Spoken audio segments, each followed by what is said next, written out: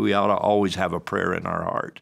But there is something about saying the words, and for me, saying them out loud.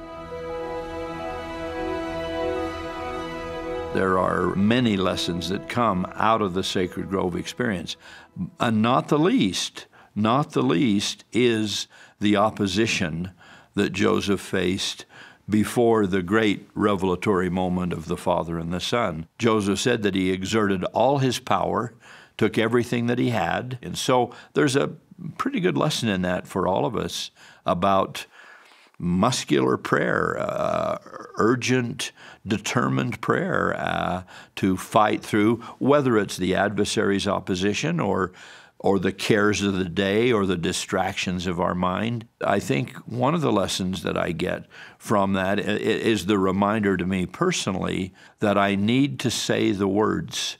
Prayer is an expression of the heart and I, we can pray silently. We ought to pray silently. We ought to always have a prayer in our heart.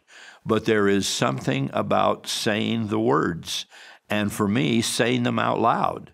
And so I'm reminded to not get by on the cheap, uh, if you will, about uh, prayer. We need to carve out time and good time, uh, high priority time, when we can say the words. Kneel uh, where possible, be vocal, be out loud, uh, and really have that communication individuals who might wait for their evening prayer until 11:30 and they're exhausted and uh, the day has taken its toll and we get a kind of a half-hearted prayer out uh, before we tumble into bed i'd say move that prayer up. When we're alert and attentive and uh, and can think about it and be powerful this ought to be high priority expression and uh, just managing our life a little better i think uh, can, uh, can lead to that kind of vocal communication with the Lord.